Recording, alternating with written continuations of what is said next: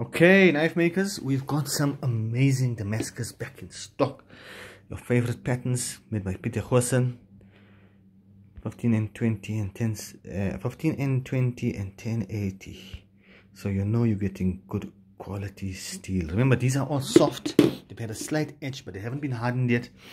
Once they're hardened and etched, and you give them a little coffee, they look so amazing. You get popping contrast. Rainbow number two. We've got a ladder also. All of these have been coated with fluid film. Therefore, you see that waxy layer on the actual steel as well. That's fluid film to keep it from rusting. Then we've got V-ladder 1. You love your V-ladders. I love them as well. They look absolutely awesome. Awesome, awesome, awesome. Another V-ladder over here.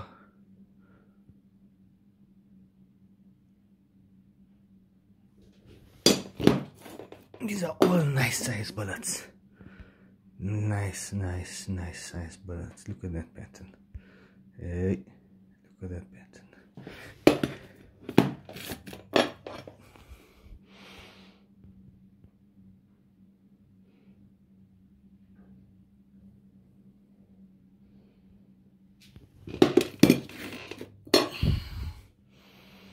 And the last one.